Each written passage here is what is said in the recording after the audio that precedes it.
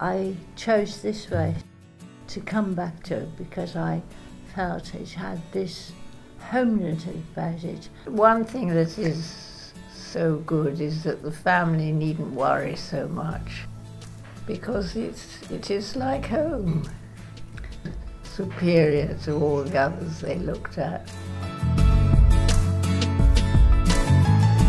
We get on. And yes, we get on and we come down for the quizzes and the crosswords. Yes, and she's cleverer than me. Oh, rubbish. Always.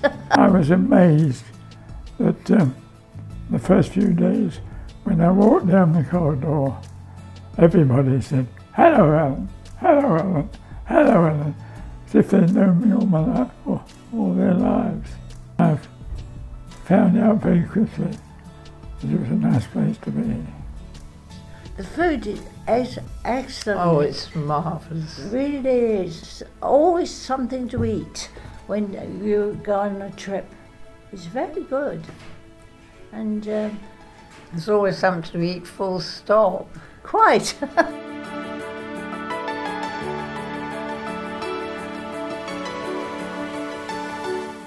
We have a laugh.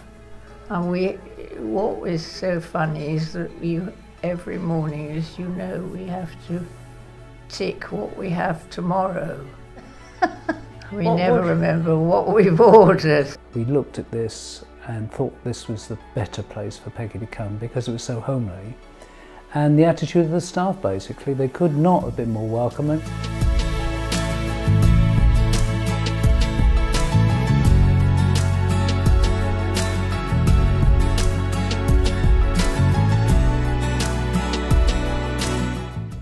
Here and I was taken round by Christine Tasker, who was the commissioning matron. And I went home, I said to Isabel, I'm not going to look anywhere else. It's brilliant. You feel very much part of a family here. When you look at what's arranged to trips out, to folks coming to visit, there is a great deal for people who can move around a bit to be interested in.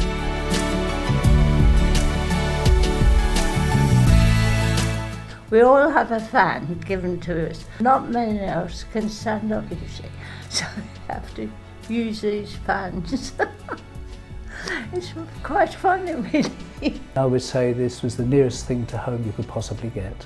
Abbotts Barton is, is up there. You come to love it as your home.